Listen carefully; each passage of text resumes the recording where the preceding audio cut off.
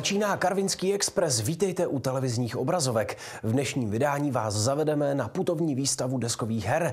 Prozradíme vám, jak se dařilo Ondrovi Kukrechtovi na mistrovství České republiky v plavání. A s českými herci si popovídáme o novém filmu. Karvinští diváci a návštěvníci Kina Centrum měli jedinečnou příležitost osobně vyspovídat režiséra Miloslava Šmídmajera a herce Lukáše Příkazského, Hanu Wagnerovou a Terezu Srbovou. Ti do Karviné zavítali v rámci předpremiéry nové české komedie.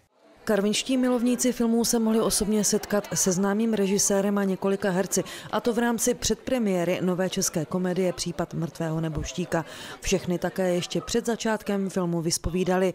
Do Ken by na tento film měli zamířit především ti, kteří mají rádi legraci, řekl režisér a dodal. Samozřejmě ten film má děj, ale ten není tak podstatný jako právě ty různé eh, komické scény s tím, že herci, kteří jsou v tomhle filmu opravdu skvělí, tak to všechno hrajou vážnou tváří. Jednu z rolí dostala Hanna Wagnerová. Já hraju eh, detektiva Skálovou, která vlastně všichni říkají Skaliová, tak eh, to ona z toho má noční můry. A je vlastně taková jako, jako ranaška, je taková jako, že, že si cítí se být neohrožená, má pocit, že jako do všeho eh, půjde po hlavě a že to všechno vyřeší a že nikdo nesahá ani pokotníky, tak samozřejmě velice často uh, narazí. Hanna Wagnerová je známá z vážných kriminálních seriálů. Hrát krimi komedii je podle ní těžší. Myslím si, že to je vlastně těžší žánr, než, než i když to tak nevypadá, lidi mají často pocit, že komedie je jenom takový jako nic, tak já si naopak myslím, že to je těžší a mám to teda hrozně ráda. Mám hrozně ráda komedii, tak strašně tady tomu držím palce a doufám, že se to povedlo. I Lukáš Příkazký má filmové zkušenosti z krimi seriálů. Si myslím, že rozdíl je v tom, že když máte opravdu vypadat věrohodně jako policaj, když je to ta kriminálka, jo, jak se dneska točí, tak vám to ty lidi musí vlastně věřit v těch, v těch situacích, jako aby, to bylo, aby to byla jako realita nějaká, aby to nebylo úplně přehnané. Když to tohle je komedie, že jo, takže většina těch okolností je úplně pokřivená a mimo, takže vy vlastně paradoxně čím vážněji tu situaci zahrajete, tak to, protože ta situace je sama o sobě vtipná, tak vám to vlastně vyleze, takže vy to nemusíte moc jako vyrábět, ten humor, že jo. Pro Terezu Srbovou žijící v Londýně, herečku, která je v současné době nejobsazovanější českou herečkou v zahraničí, jde o vůbec první český film, ve kterém hraje. Mě byl Miloš sympatický od začátku jako člověk, takže pomalu aniž bych četla scénář, tak jsem věděla, že s ním chci pracovat. Tereza Srbová je známá ze zahraničních filmů jako Východní přísliby Ingolstové srdce nebo z příběhu špionky. Já jsem dělala komedii jednu uh, v Londýně, uh, v Anglii. Um, takže, ale to už je strašně dávno, takže taky nemám moc zkušenosti s komedií jako takovou, ale mám ráda ten žánr. Um, chodila jsem na různé workshopy v Los Angeles um, komediální, takže s tím nějakou zkušenost mám. I v době natáčení vznikaly scénky, které nebyly ve scénáři. Právě ta čtyřice, eh, David eh, Novotný, Hanka Wagnerová, Martin Pechlát a Lukáš Příkazský chodili pořád s nějakýma ptákama, ptákovinama, s nějakýma forkama, dohrávali měli v pozadí nějaký eh, rozehraný jako drobnosti a eh, to mě bavilo právě, že jako eh, je tam to hodně, co vymyslel. Film se natáčel skoro celý v Olomouci, kde se také konala předpremiéra. Před ní ale měli karvinští diváci příležitost vidět film jako úplně první. V regionální knihovně najdou čtenáři, ale i milovníci zábavy putovní výstavu deskových hracích plánů a her.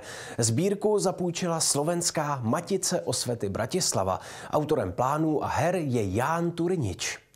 Karvinské regionální knihovně, konkrétně v oddělení pro děti a mládež, je v současné době vystavena unikátní sbírka deskových herních plánů a her. Jejím autorem je předseda slovenské matice osvety Bratislava Ján Turnič. Knihovna není jenom o půjčování knížek, je to e, komunitní centrum, kde se setkávají děti, dospělí, seniori a jsme moc rádi, že jsme mohli poskytnout prostory pro tuto putovní výstavu deskových her. Součástí výstavy jsou i hrací stolky, na kterých si hry mohou lidé zahrát. Můžete si zahrát Člověče nezlob se, tady to speciální, které je rozšířeno o různá pole, které vás pošle zpátky na začátek, nebo díky bílého pole můžete se pohybovat jak chcete. Máme tady uh, i šachy, které mají největší úspěch překvapivě. Máme tady dámy a máme tady turango. Součástí jsou i deskové plány a ty nám uh, mapují hry od nejstarších dob až po ty současné. Hry, ač mají stejná pravidla, se liší podle historického vývoje. Ty nejstarší jsou jednodušší, mají méně políček ke hře. Ale teďka ty současné se snaží uh, vyzkoušet a mapovat různé, jak tady dobrodružství a různé varianty těch her. Putovní výstavu můžete navštívit do 28. února, pak bude sbírka vystavena v Olomouci. Střední škola techniky a služeb si pro veřejnost připravila ukázku řemesel, technologie a techniky. Na praktickou prezentaci školy se můžete přijít podívat v úterý a středu od 13 do 18 hodin do obchodního centra u vlakového nádraží. 16-letý plavec a odchovanec karvinských kosatek Ondřej Kukrecht dosáhl v prosinci loňského roku svého největšího úspěchu v dosavadní plavecké kariéře. Na mistrovství České republiky se mu podařilo několikrát zvítězit a stal se tak několikanásobným nejlepším plavcem v dorostenecké kategorii. Tohle je 16-letý Ondra Kukrecht, úspěšný plavec, který se může pochlubit hned čtyřmi medailemi z mistrovství v České republiky v plavání. V dorostenecké kategorii v disciplíně 100 metrů prsa doplaval druhý.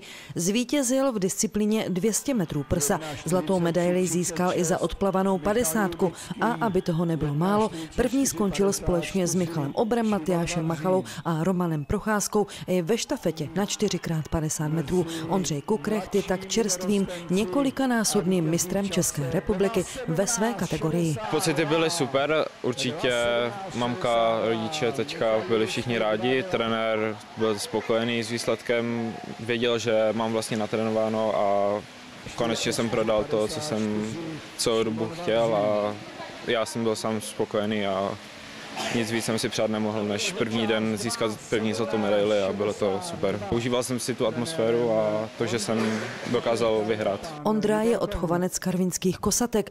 Nyní je studentem druhého ročníku na sportovním gymnáziu Dany a Emila Zátopkových v Ostravě. Jeho trenérem je Libor Kohut.